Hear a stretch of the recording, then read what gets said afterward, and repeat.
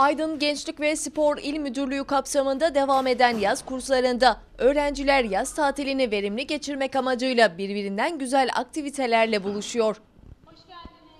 Antrenör Münevver Uludağ yaz kurslarında öğrencilerin yoğun ilgisiyle karşılaşan okçuluk sporu hakkında bilgiler verdi.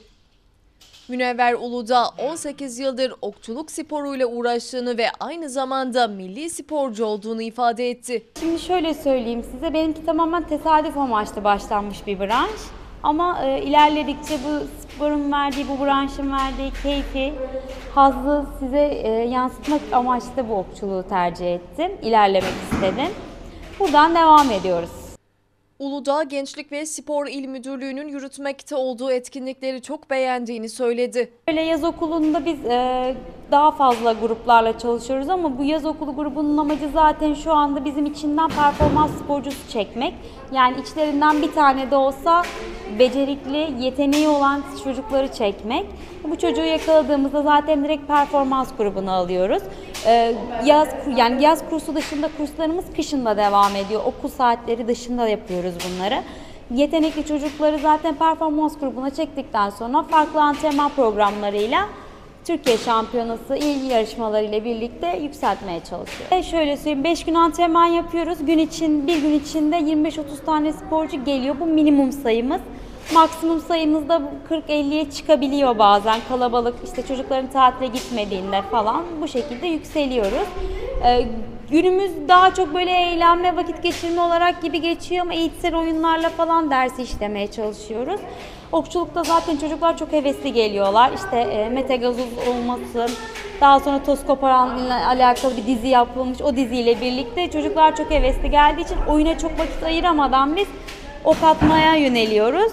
Ok atarak devam ediyor derslerimiz. Okçuluğun bir silah kadar tehlikeli olduğunu vurgulayan Uludağ şunları söyledi.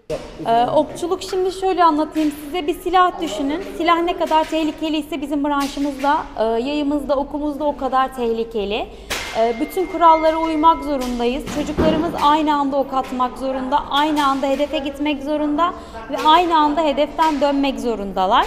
Atışlar aynı anda olmak zorunda. Eğer bir kişi ok atarken diğer kişi önüne geçerse ve e, ihtimaller dışında yay patlaması olur, bunun dışında işte çocuğun elinden yay kaçma olur. Böyle durumlarda insani ölümcül tehlikelerde saçabiliyoruz. Ama biz burada kurallar dahilinde çocuklar önce tabii ki kuralları söylüyoruz. Daha sonra ok attırmaya başlıyoruz. Şükür öyle bir problemimiz olmadı. Çocuğun gelişim konusunda dikkat dağınıklığında biz birebir bir branşız. Çocuğun bütün dikkat dağınıklığını toplamasında, odaklanmasında bizim branşımız çok etkili. Daha sonra sırt kaslarını çalıştırmakta, e, vücut postürünü düzeltmekte bizim branşımız birebir.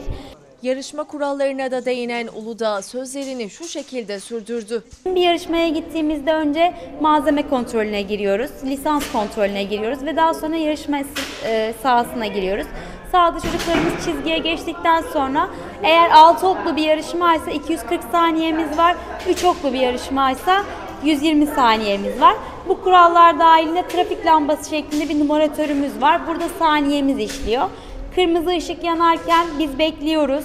Turuncu ışık, ışıkta çocuklarımız çizgiye geçip hazırlanıyorlar. Yeşil ışık yandığında çocuklarımız atışa başlıyorlar ve belirli süreli saniyede oklarını atıyorlar. Oklarını attıktan sonra e, süre bittikten sonra tekrar e, bir düdük ötüyor. Düdükten sonra çocukların hepsi birlikte yine hedefe gidiyorlar. Hakemler eşliğinde puanlarını yazıyorlar. Puanlarını yazdıktan sonra tekrar geliyorlar ve süreç bu şekilde ilerliyor. Ee, Bir yarışmada 12 seri atıyoruz 6 seriden. İlk 6 seriden sonra mola veriyoruz. ikinci 6 seriyi atıyoruz. Yani iki tur şeklinde atıyoruz. 12 seriyi tamamladıktan sonra e, en yüksek puan dilimine bakıyoruz. Bizde 12 diye bir şey yok bu arada. En büyük puan sayımız 10 ve X var bizde. X'in değeri de 10'dur bizde.